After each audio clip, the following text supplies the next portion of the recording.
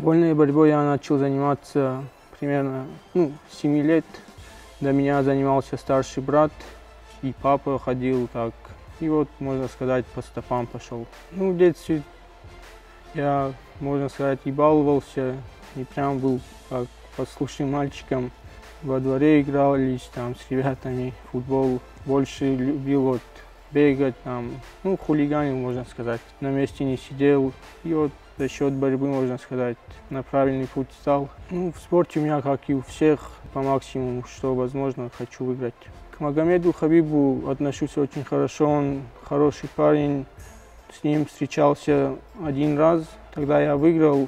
Он очень непростой соперник, призер Олимпийских игр, чемпион Европы. Ну, достойный парень, буду выкладываться по полной, чтобы выиграть. С ним я встречался один раз и выиграл, но это было в 2019 году. С тех пор прошло очень много времени. Сейчас надо по-другому вот настраиваться, скажем так, и выкладываться по полной, чтобы добиться желаемого результата. У Магомеда Хабиба сильные стороны, это он очень техничный, с ним нельзя расслабляться. В себе я уверен, буду по полной отдаваться, что в моих силах, там уже ковер покажет.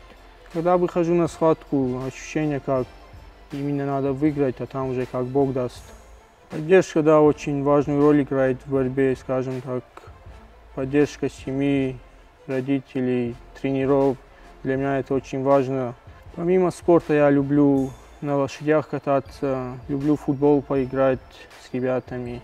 Да, на улице узнают, понимают, что если достичь еще больше результатов, больше людей будут узнавать. И для меня это приятно, когда подходят, фоткаются ребята, маленькие дети, понимают, что они стремятся к таким же результатам, и это тоже мотивирует.